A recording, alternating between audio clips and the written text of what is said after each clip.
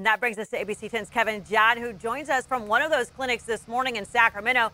So, Kevin, I think the big question is are there still openings this morning?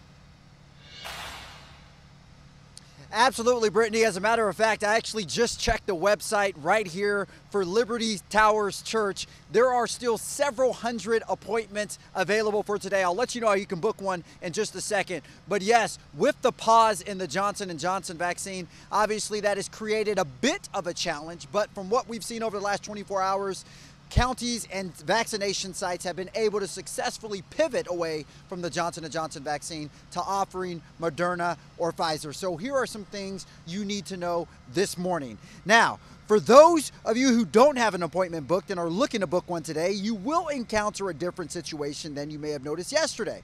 When I was looking at the My Turn site this morning, the Stockton Arena and Sacramento sites no longer listed. So, if you're looking to book a vaccine appointment, you'll have to go through private entities like Kaiser and Safeway. Now, if you've already booked an appointment for the Johnson & Johnson vaccine, you don't need to worry. Most sites like right here at Liberty Towers and Burbank High School have automatically switched to the Pfizer or Moderna vaccine. Now we know that certain vaccination site listings have not been on MyTurn website or are no longer there. So here are some resources for you. You can either use equivax.org. That's actually how you can book an appointment right here at Liberty Towers.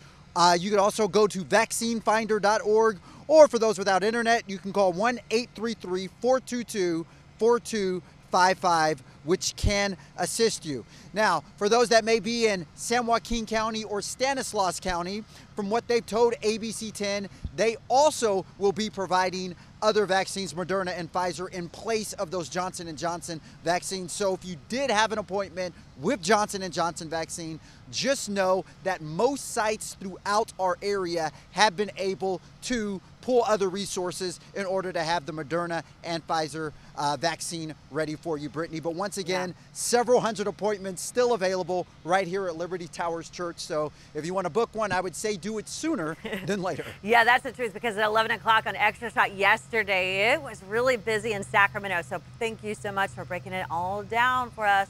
We'll stay connected throughout the day. Walt.